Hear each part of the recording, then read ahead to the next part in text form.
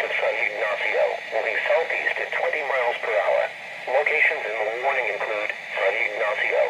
Severe thunderstorms can produce wind speeds strong enough to bring down trees and power lines and damage or destroy mobile homes and outbuildings.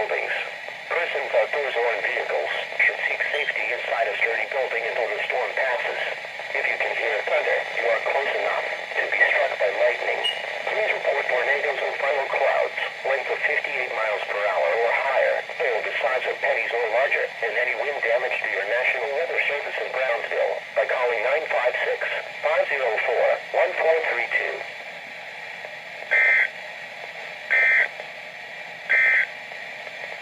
The hazardous weather outlook predicts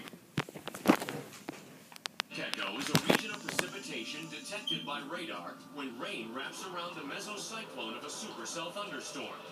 The presence of a hook echo is usually a good sign the storm has strong potential to produce a tornado.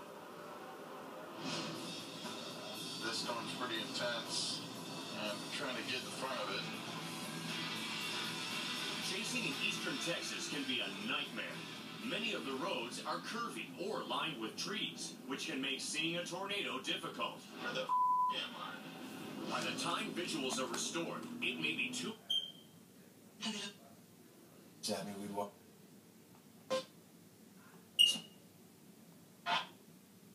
Again, I, Yeah. I didn't realize it. Are becoming a little bit.